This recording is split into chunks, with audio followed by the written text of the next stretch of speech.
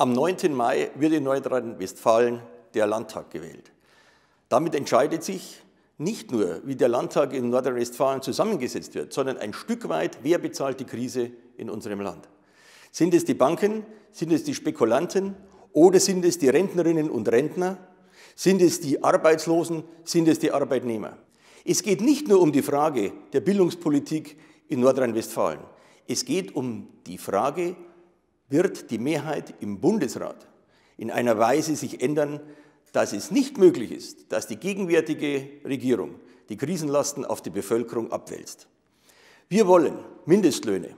Wir wollen eine vernünftige Rente für alle.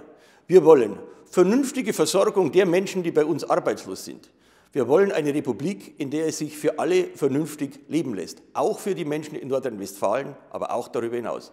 Deshalb wählen Sie am 9. Mai die Linke. Die Linke macht Deutschland sozialer.